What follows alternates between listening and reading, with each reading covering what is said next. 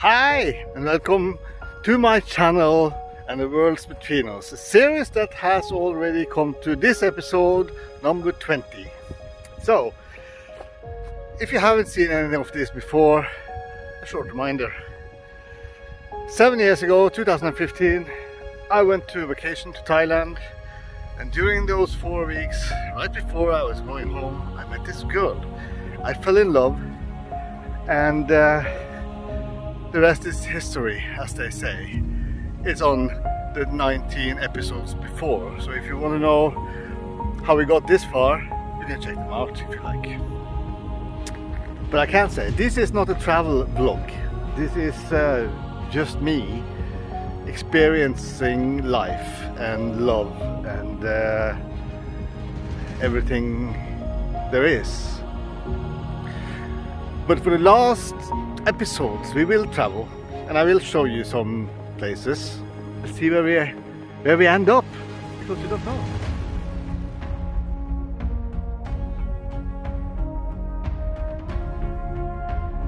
So the thing is now that since we are in episode 20, this series is coming to an end soon. So is this year. It's mid-November. Nice sunset here where we live here in Moss. It's cold. The winter is coming. We've just been to uh, Lao and Savannakhet and we've just been to Vientiane and are on our way to Hanoi to get the final visa for Kam so she can visit me in Norway for the third time. So let's go to Hanoi, get that visa and take the first plane out of there. Anywhere. Just fly away. You never know. Maybe we get a happy ending. Enjoy. Da er vi ferdig i Laos. Eh, Vi la oss på flyplassen, og eh, det er såpass kort tid eh, over til eh, Hanoi. Så hvis jeg f.eks. bare gjør sånn Og da er vi plutselig i Hanoi. Eh, Så eh, Men jeg tenkte jo det at eh, Du vet hva? Jeg setter dere tilbake igjen til flyet, for det, det var jo litt, eh, litt kult, det. da. Så vi snakkes. Skål, kjære. Så mens vi sitter da her på det her laotiske flyet, så og nyter vår hvitvin og reker med majones og sånn, så uh, ca. 20 minutter det fra vi begynte ombordgåinga til flyet letta. Og i de av de 20 minuttene når vi hadde kommet oss fra i avgangshallen og inn i flyet, så fikk vi servert også da et glass med appelsinjuice. Og i løpet av den tida hadde vi rydda alt, og de var akkurat ferdig lukka alle skapene når kapteinen sa at OK, ready for takeoff, take-off, sit down. Fantastisk. Jeg har aldri opplevd det så kjapt. Så, Grunnen til at vi sitter på business, er jo fordi at vi det, var, det var fullt på, på, på det billige, billige settet. Så shit happens. Men uh, det er desto koseligere da.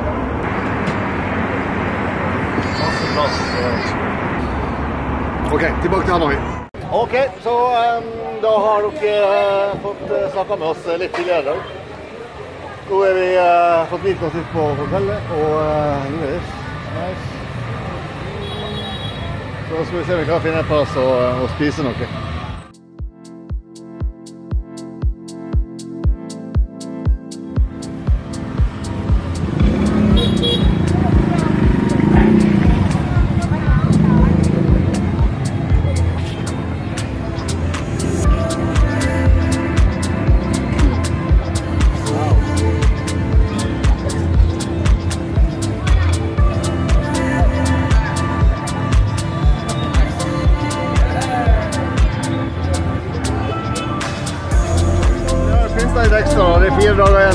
Nyttårsaften.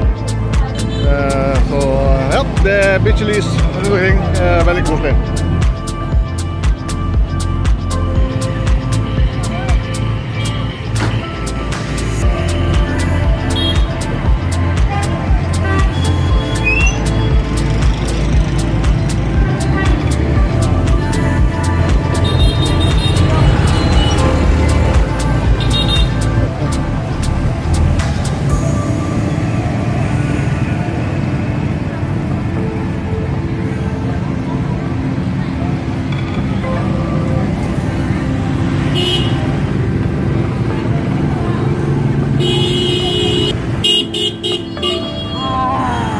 Helt sikker på at dette her er, uansett hvor jeg har vært, for dette her er mest bråkete byen.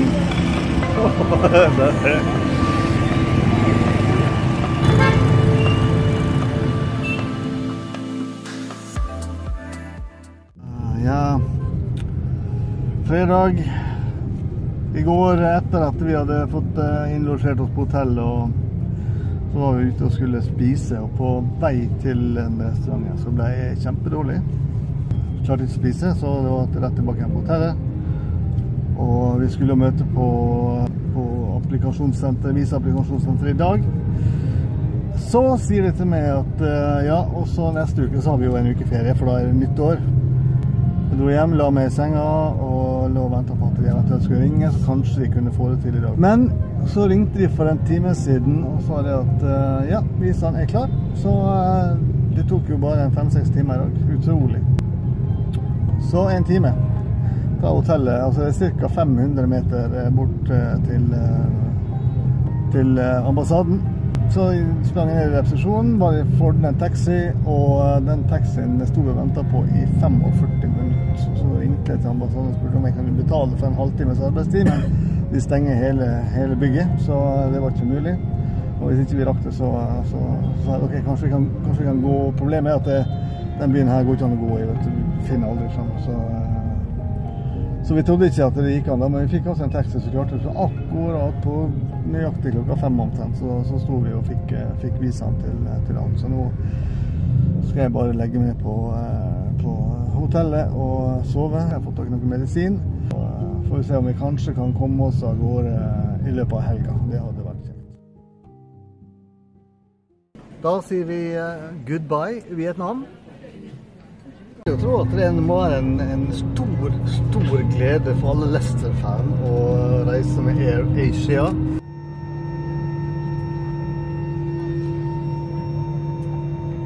nesten som jeg sitter på sånn supporterfly på vei til Leicester-kamp. A few moments later.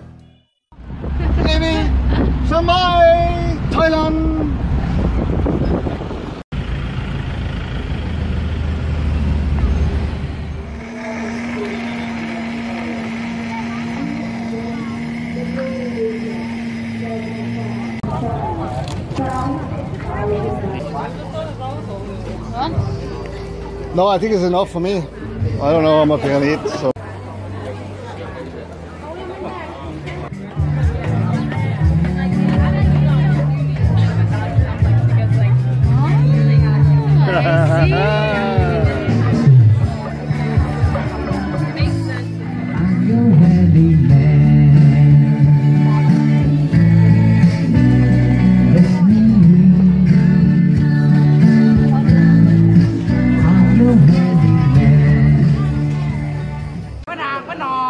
ครัอยากกินไก่ต้มต้องแกกเห็ดยักษ์มาต่อคนแป้นเขาไหน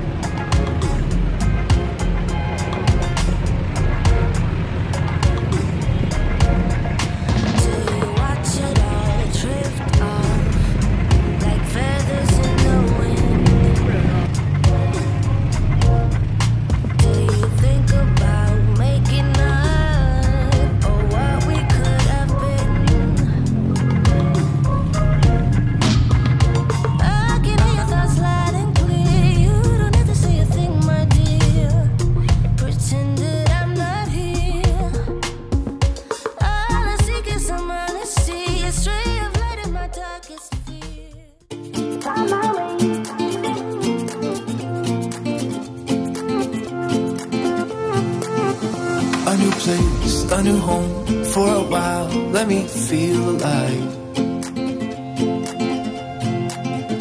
Nothing to hold me back. Take my time, just enjoy the ride. A new man passing by. Life is good, best I've ever felt. Get me up somewhere new, somewhere I can find myself.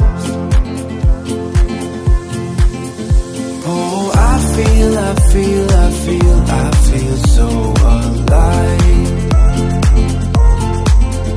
As I reach out, reach out, reach out, reach out to the sky. I found my way, I found my way. I was in the dark against it all, but made it through the day. Cause I found my way, I found my way. Bad times, I know I'll be okay. Cause I found my way.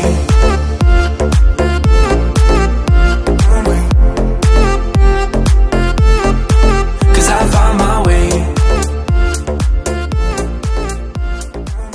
tar vi oss et lite båtcruise. Så frokosten den drøyer i hvert fall en, eh, litt over times tid til. Men en iskaffe skal vi i hvert fall få tid til. Åh, sjekk den stillheten. Nydelig. Det er midt i byen, altså.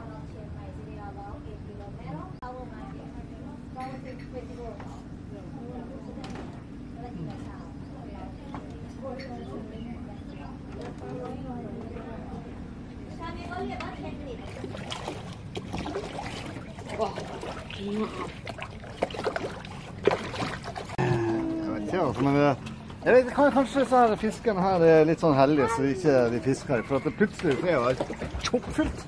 Massevis av fisk. Jeg har sett masse såper. så Kanskje, kanskje elva er helt full med fisk. Det som er greia, er at det området akkurat rundt, eh, rundt her, så eh, er det faktisk forbudt å fiske.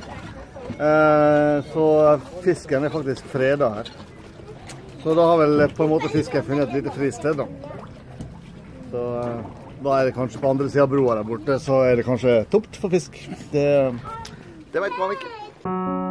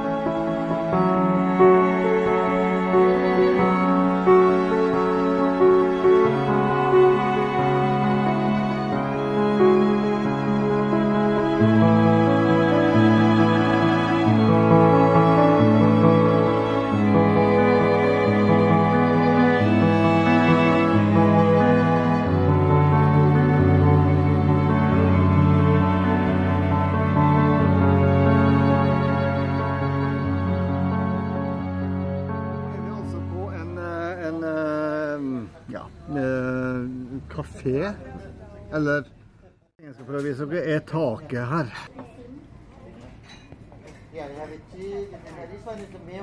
De tar vare på edderkoppene her. Og frokosten, den ser sånn ut. Thai. Pad thai. Thai. Ja. Det er nudler. Og her er et lite ananastiks. Eh, kan vi dere? Se her. Så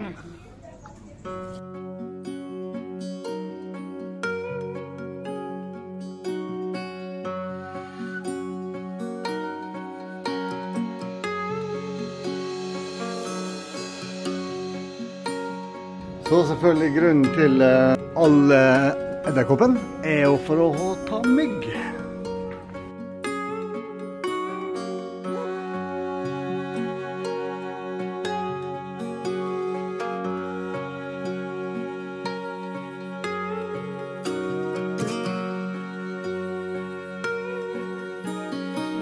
Her flyr rundt flyr oss eh, massevis av bier, for her samler de også honning. Og eh, ris. Så de er ganske selvdrevne her på, eh, på mat og de har, de har alt her. Absolutt alt. Her ligger de og koser seg. Slapp av.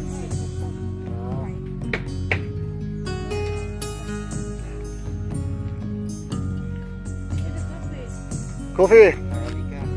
Arabica.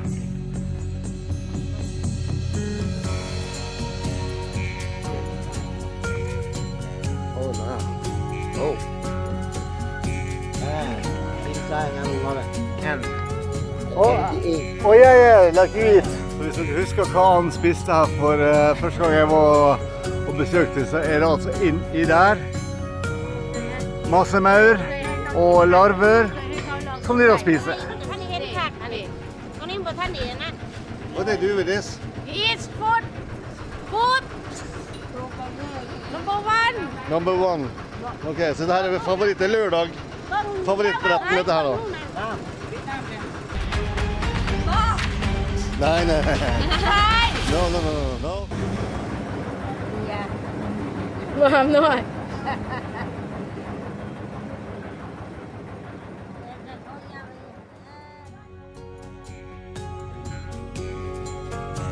Jasmine rice. Okay, chili.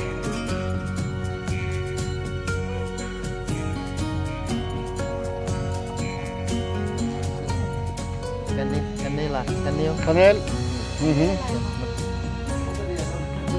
This rice is a crusher rice and put rice in a big mortar. Crusher.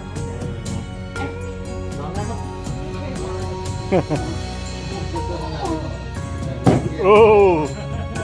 เฮ้ย Yeah, they crush it.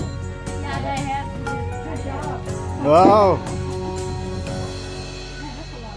เฮ้ยได้ยังไงกันดูเลย En del av Rambo 4 ble spilt inn akkurat her. Og da hadde han en, en slangefarm eller noe. Uh, this one is a peppercorn. It's a black pepper. เออ Yeah, Black black, pepper. pepper. very good for sleep. Eh? if you sleep not easy. Så nesten er sånn Ping-elven her, da. eh, Den kan du Den går faktisk helt ut til Bangkok.